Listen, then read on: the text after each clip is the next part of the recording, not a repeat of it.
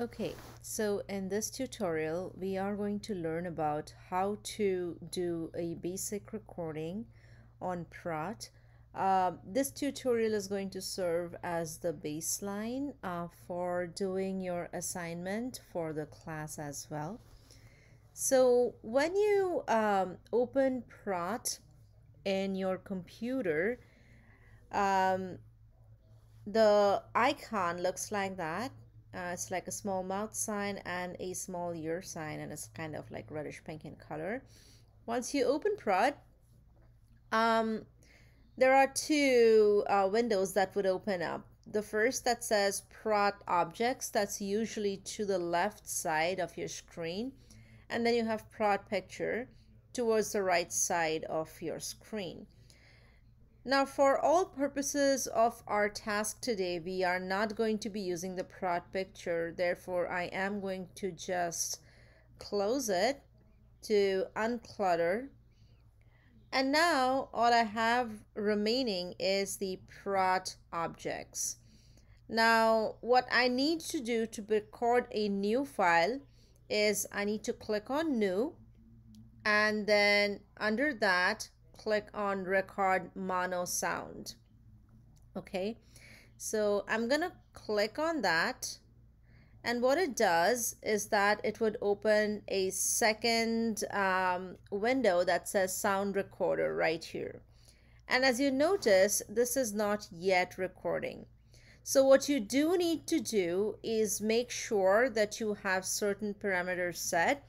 For example the channel should be set to mono um, in this case, I'm using my computer audio, so my input source is going to be MacBook Pro computer microphone. But if you are using a um, separate headphone microphone device, then your input source should say that. Now, on the other side, you see something called as the sampling frequency. So uh, we are going to leave it where it is. It's typically preset at 44,100 hertz. We are going to leave it at that.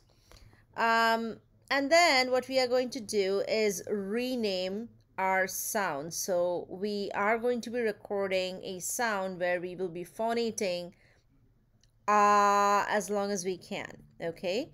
So I'm going to rename the file or name the file as sound ah okay and from there on um, I hit the button that says record on the bottom left side of your screen and then I click on that and now I'm going to take a deep breath and phonate ah in my normal pitch for as long as I can.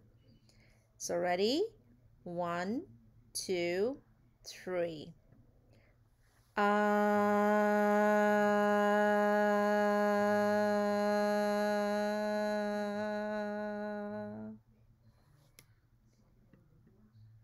and then I hit stop and once that is done if you notice the button at the bottom of your screen that says save to list that gets activated or that gets lights up. So um, we are going to hit on save to list. You could also hit on save to list and close if that's the only sound that you're recording. So in this case, I'm not going to be recording another sound right now. So I'm going to hit to save to list and close. And there you have it. Your Under your objects, you'll see your newly recorded sound, which is your sound ah. Okay. Now I'm going to click on that and when it's selected, it turns blue like this, like how it's turned in my screen right now. From there, I'm going to move to these number of buttons that's on the right side of the box. And I'm going to click on the one that's pre-selected that says view and edit. So I'm going to click on that. And what you're seeing here is a waveform, a waveform of what you just recorded. So in this case, um, we have the vowel ah.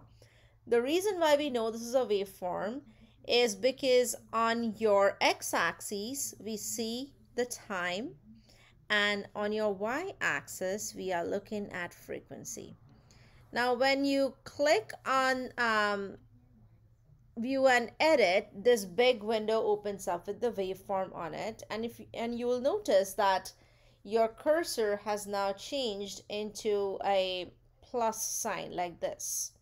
Okay? Um, all you need to do here is select a portion of your utterance or your sound that you have recorded and drag your cursor and when you do that notice this portion lights up as pink now all you need to do here from this portion is get some data. Data regarding what the pitch of my uh, sound was or what the pitch of your recorded portion of the sound was. So to do that is pretty easy. Uh, if you notice on the top of this column or on the top of this um, window, if you will, there is a row of buttons that says File, Edit, Query. Go up until you hit the button that says Pitch and click on that. Okay. And then you need to scroll down all the way to where it says Get Pitch. And you click on that. And uh, that should give you the get pitch. So let me make a small adjustment to my selection here. So another cool thing about this um, uh, this app is that you can zoom in or zoom out to any portion of your um, waveform so what I'm going to do is I'm going to be zooming in by clicking on the bottom left button that says in. So if you click on in, it zooms in. If you click on out, it zooms out. Okay. So what I'm going to do is basically try and select a shorter portion because the error it gave me before was that it was way too long. So I'm going to click on a shorter portion again and drag my cursor. And then I go to pitch again.